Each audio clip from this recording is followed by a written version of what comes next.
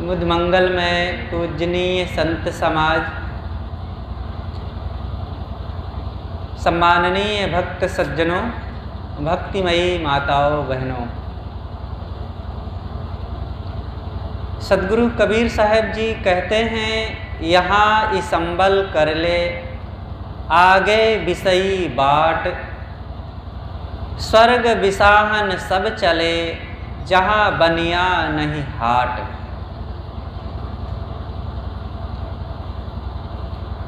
ये साहेब जी की साखी है।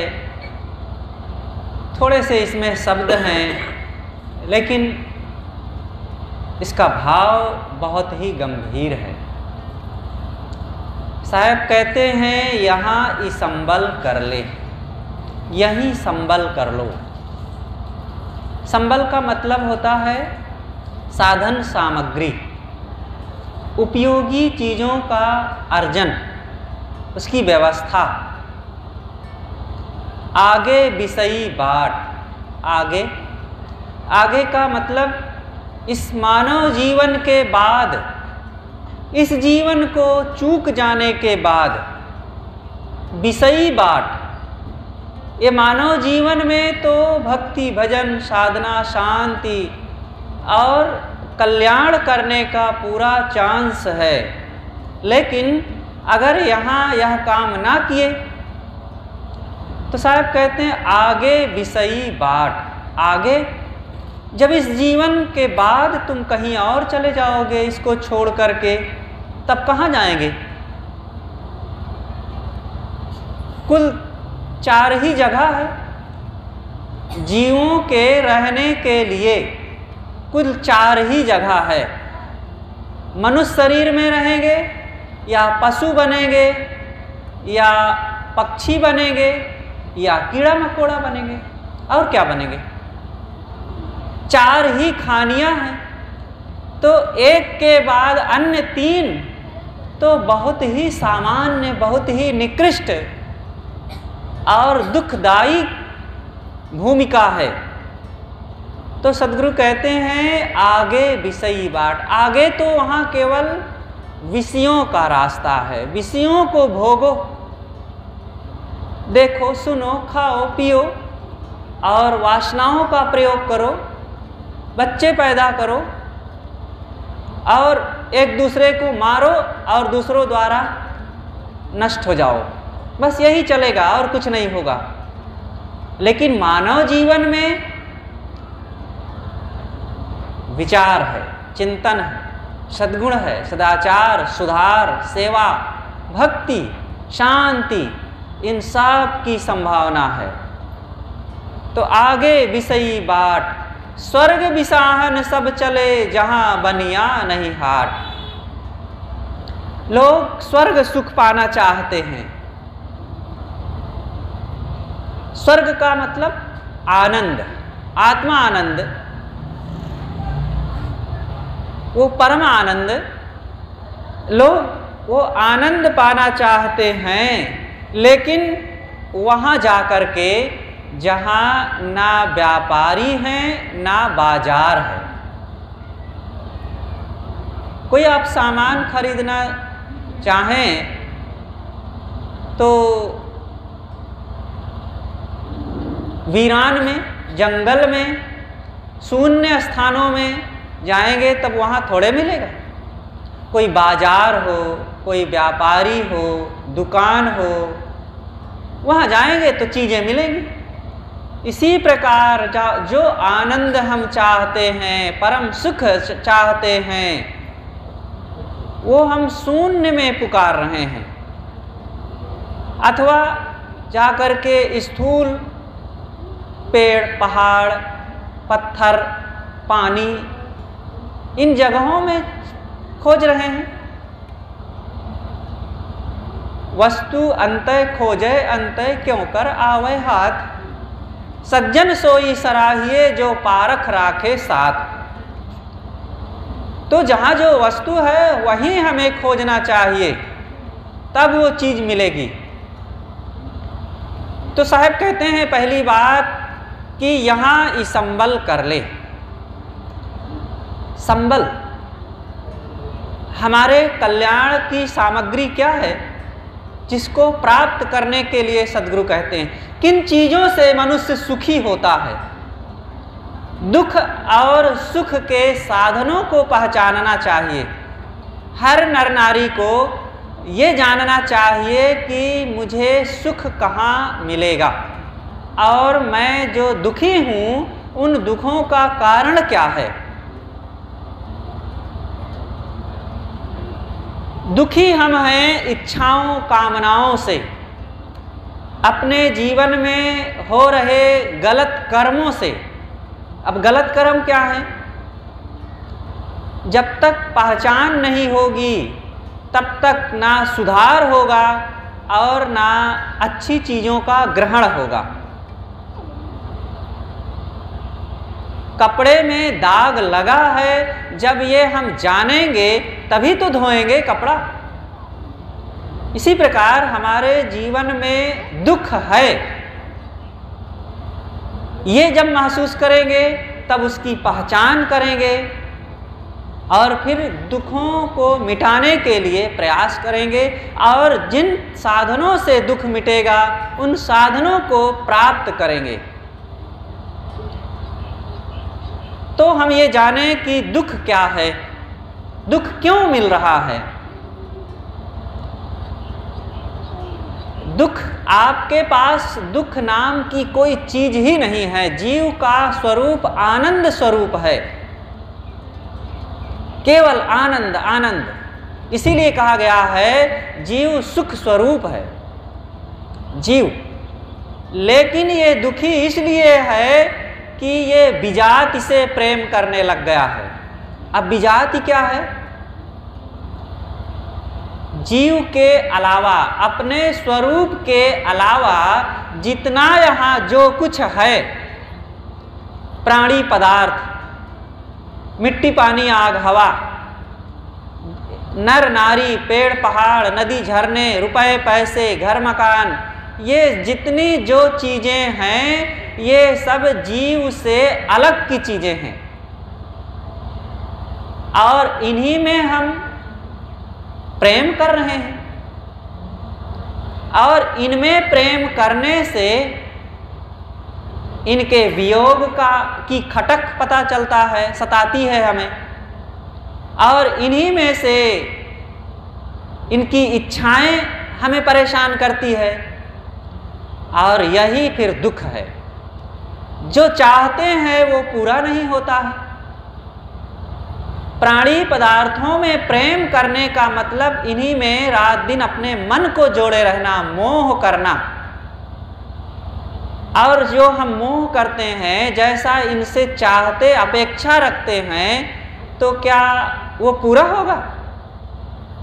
पूरा नहीं होता। अपेक्षाएँ छोड़ दें तो दुख हमारा समाप्त हो जाए। पुत्र से अपेक्षा होती है कि पुत्र ऐसी हमारी बात माने। इस ढंग से वो हाथ जोड़े खड़ा रहे, ऐसा आज्ञानुवर्ती बने, ऐसा बोले। अब मन होता है कि ऐसे रहे, लेकिन क्या पुत्र जैसा मन चाहता है वैसा हो जाएगा? नहीं होता है।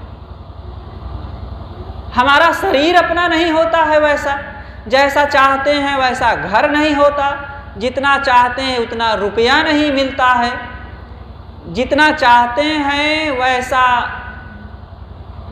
कोई भी चीज़ नहीं मिलता है। यहाँ पूरा नहीं होता है। और मन कहता है कि ऐसा हो। यही है विरोध। मन कहता है, ऐसा हो और संसार से, जहाँ जहाँ से चाहते हैं, वो प्राणी पदार्थ वैसा हो नहीं सकते। तो इसी खींचातान में मन का द्वंद्व चलता रहता है। और यही है दुख। और इस दुख को मिटाना अगर चाहते हैं तो अपेक्षाएँ छोड़ दें बस। ना हमें शरीर को अपने बदलना है ना चीज़ों को, ना घर को, ना लोगों को, ना संसार को बदलना है। सुखी होने के लिए बस एक ही चीज़ कर लेना है। अपने मन को बदल लेना है।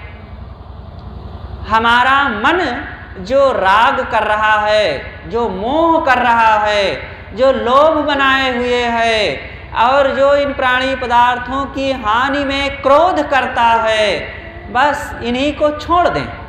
और बदल दें। प्रेममय बना लें, त्याग त्यागमय बना लें, संतोष संतोषमय बना लें, धैर्यवान, सहनशील बना लें।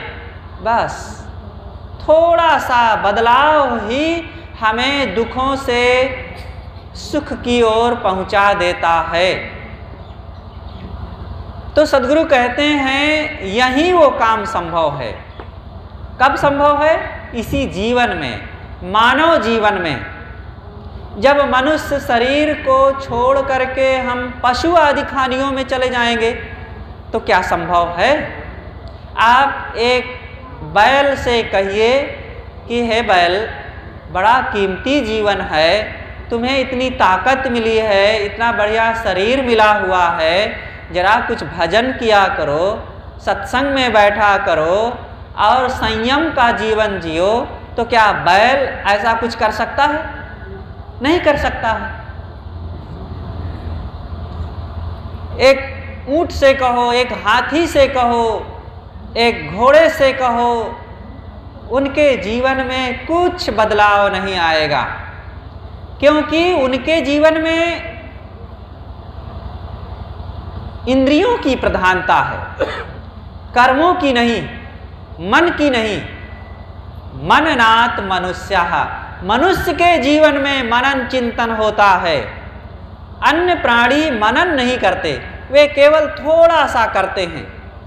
वो अपने जहाँ रहते हैं, अपने घर को, घोंसले को, बिल को याद रखते हैं, अपने बच्चों को पहचान लेते हैं, अपनी खान पान की सामग्री को वो पहचान लेते हैं, बस थोड़ा सा वो मनन चिंतन करते हैं, ज़्यादा नहीं। लेकिन मनुष्य के मनन चिंतन को क्या कहना? मनुष्य ने मनन किया तो एक लोहा को वो आकाश में उड़ा दिया। लोहा? एक छोटा सा लोहा, उसको हम फेंकते हैं, ऊपर खट से गिर जाता है। लेकिन मनन करने के बाद उसको व्यवस्था दी गई और उस व्यवस्था में इतना सोच, विचार, चिंतन, तकनीकी अपनाया गया कि अब वो घंटों घंटों, दिनों, कई दिनों, महीनों तक आकाश में उड़ता है। बहुत लोगों को लेकर, बहुत चीज़ों को लेकर के और एक निश्चित स्थान पर पहुँचा देता है सुरक्षित हवाई जहाज़।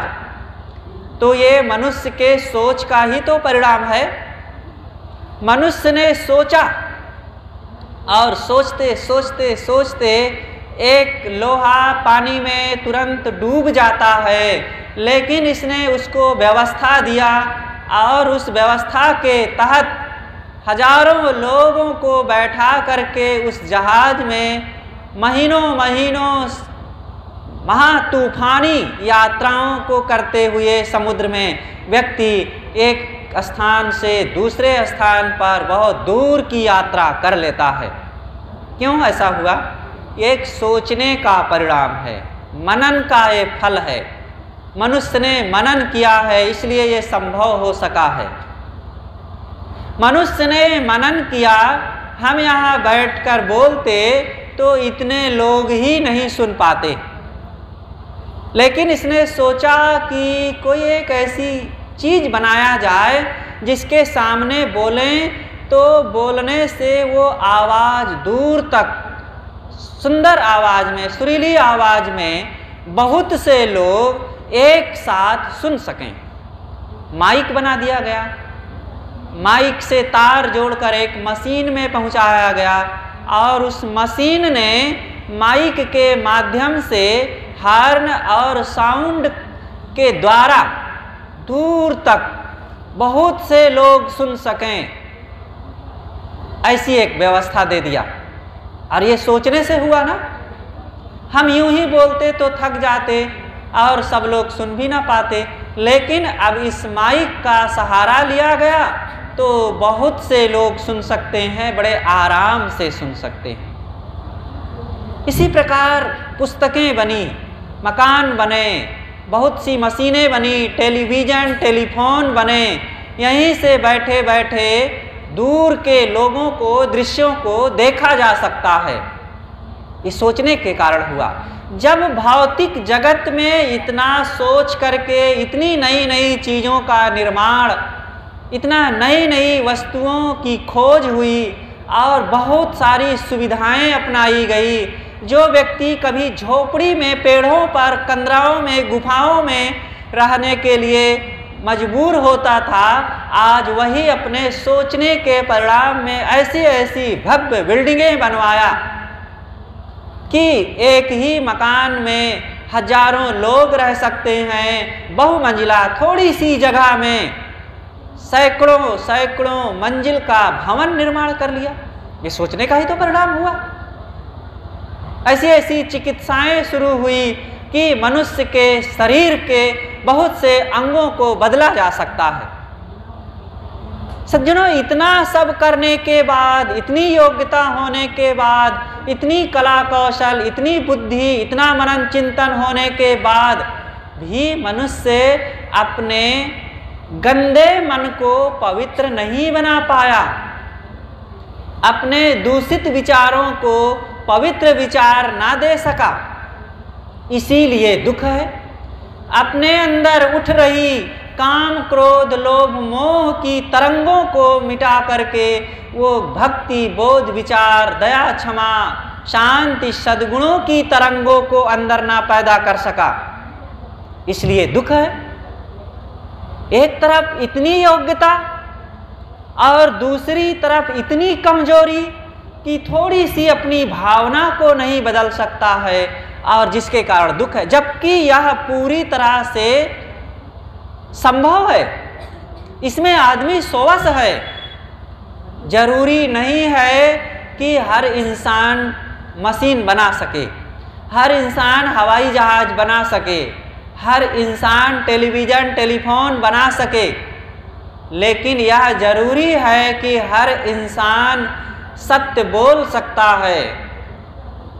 हर इंसान सदगुणी हो सकता, संतोषी हो सकता, काम, क्रोध, लोभ, मोह को छोड़ सकता है, आसक्ति को जीत सकता है और अपने जीवन में हो रहे कलह, विवाद, लड़ाई, झगड़ों को मिटा सकता है। दुख किस लिए है? हम हवाई जहाज़ नहीं बना पाए हैं, क्या इसलिए हमारे जीवन में दुख है? हम टीवी नहीं बना पाते हैं, इसलिए दुख है। हम कारीगरी नहीं कर पाते हैं, बड़े मकान बनाने की, इसलिए दुख है।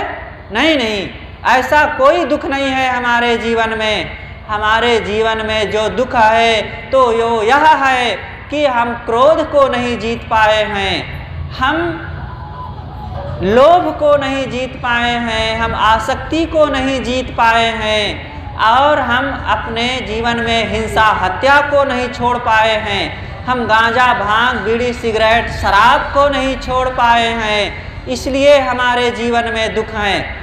और यह सरल भी है और यही सुख का कारण भी है। और हम यही कर भी सकते हैं और फिर भी नहीं कर पा रहे हैं। देखो तो जो जितना उपयोगी होता है, वो उतना ही सरल होता है। वो उतना ही बड़ा संभव भी है।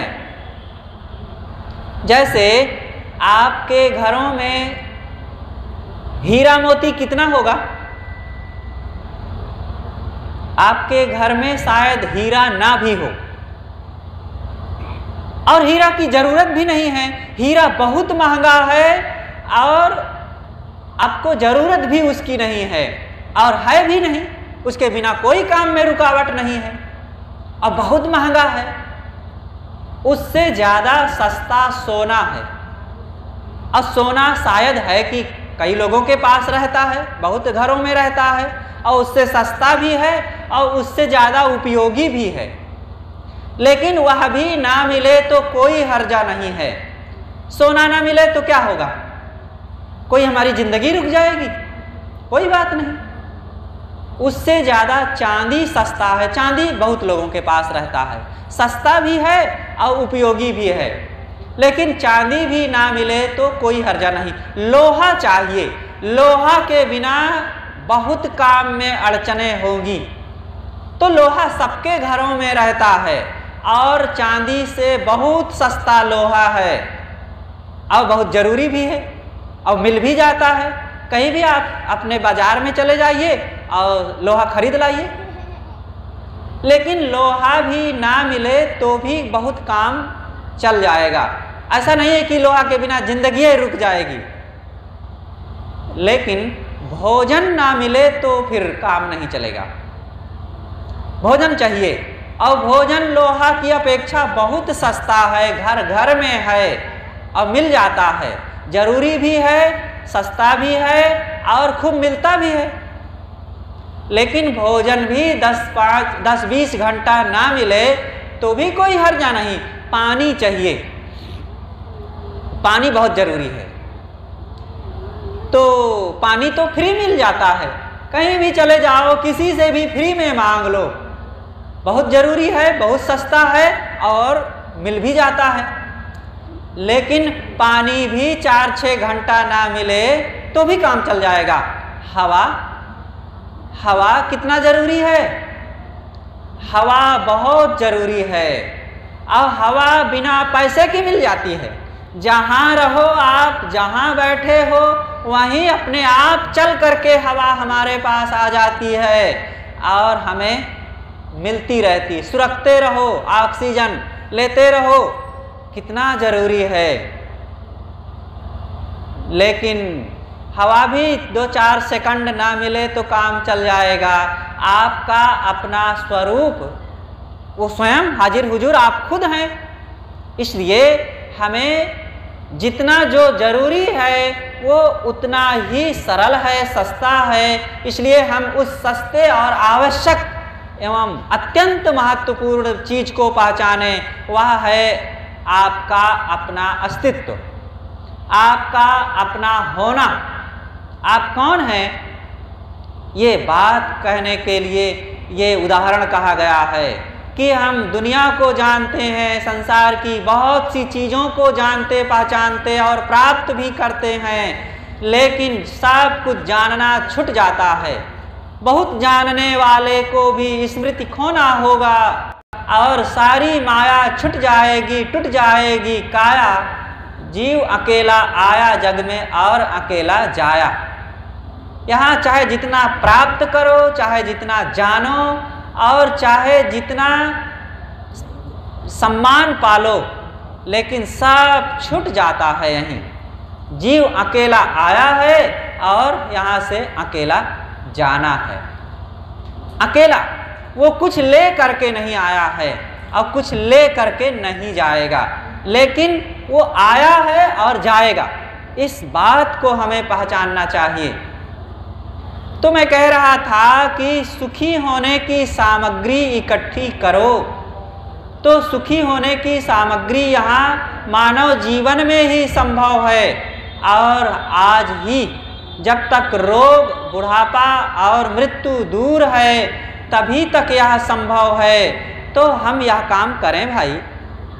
अपनी बातें में काफ़ी देर से आप लोगों के बीच कुछ कहता रहा कि हमारे जीवन का असली लाभ यही है कि दोष मिटें, दुर्गुण मिटें और सद्गुणों की कमाई करके हम अपने जीवन से आत्मलाभ, आत्मशांति की कमाई करें। यही हमारे जीवन का सबसे बड़ा लाभ है। बस बोलिए सदगुरु देव की जय।